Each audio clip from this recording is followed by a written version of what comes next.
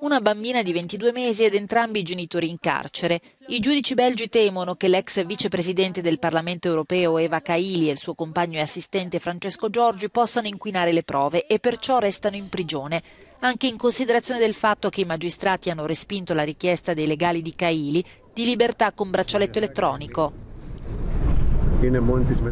La signora Kaili è sola in una cella di prigione, purtroppo anche la sua bambina di 22 mesi è sola. È Natale e non c'è nessuno.